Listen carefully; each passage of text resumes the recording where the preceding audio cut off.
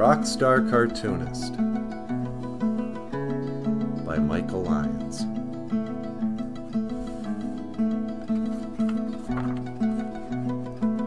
I watch the ripples change in size, but never leave the stream of warm impermanence.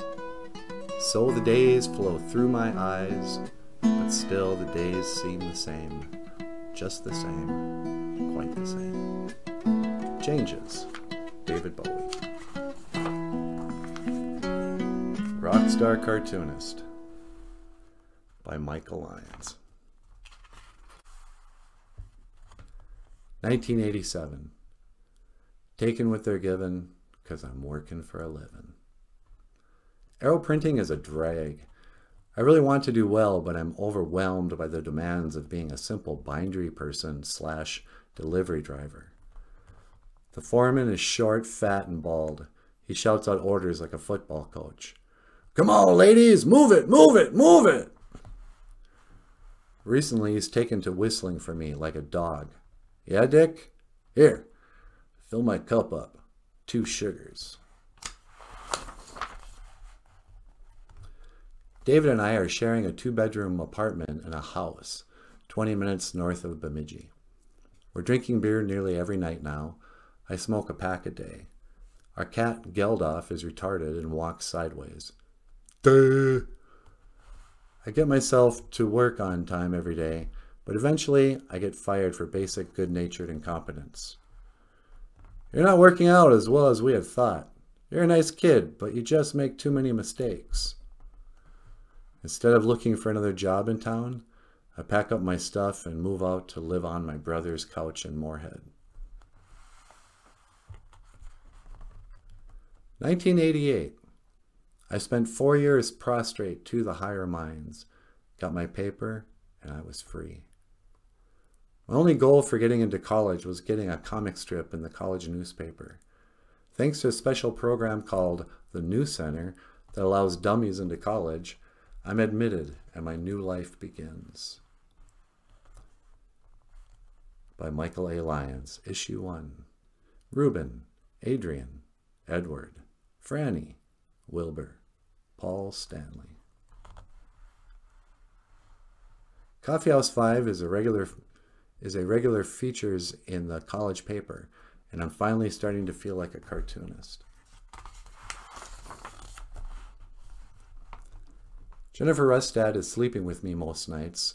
When she stays with me, we have to sleep on the shitty mattress on the floor. If I stay at her place, I have to climb in through the dorm room window.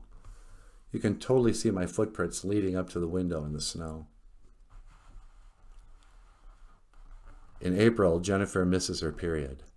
Please, God, make her not pregnant, and I promise I'll break up with her. Later, I got my period today.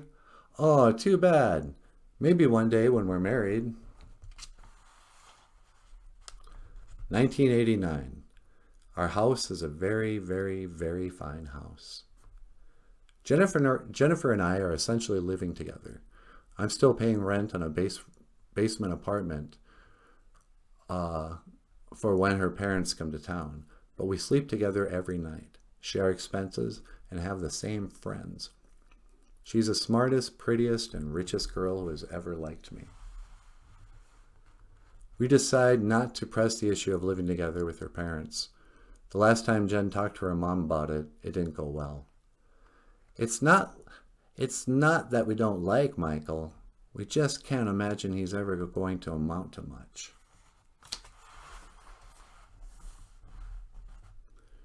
Christmas at their house was kind of a drag too. Hey, thanks for the $400 in dress clothes. Do you like your mixtape? A private conversation with her father.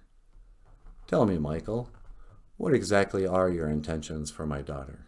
Don't say fuck her and forget her. Don't say fuck her and forget her. Why, marriage, of course.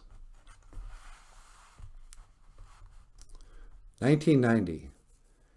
And day after day, love turns gray, like a skin on a dying lamb. There's no way I can afford to stay in school, so I start working at Mr. Print downtown. I've given up on trying to own a car and start taking the bus. Jennifer has stopped getting up with me before I leave for work. We're falling into a weird dynamic. Jennifer is the can-do, overachieving private college girl, and I'm the lovable blue-collar dimwit. Want to hear me play the first 10 seconds of Talk Dirty to Me? But is there a virtue to pure empiricism, or does it by its own method exclude metaphysics? She's well informed about current events and politics. Her friends are all very hip and opinionated. I say I'm liberal too, but I couldn't tell you why.